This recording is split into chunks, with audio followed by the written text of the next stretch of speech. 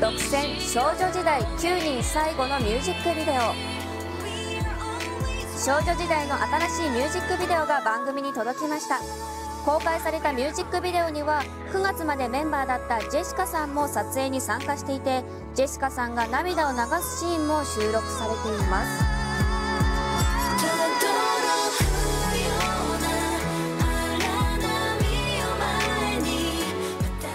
ビデオ。撮影はジェシカさんの脱退を発表する前に行われジェシカさんを含む9人で構成されています。その中で涙を流しているのはジェシカさんだけで涙を流している理由などは一切示されていません。このミュージックビデオを含むベストアルバムは明日発売です。はい、ね、しっとりとした曲ですが9人でこれで最後になってしまったんですね、ね、私たち初めて見た時はあの美脚で踊っているという、はい、それが印象的でしたけれども、はい、お別れの曲ちょっとしっとりめということですね。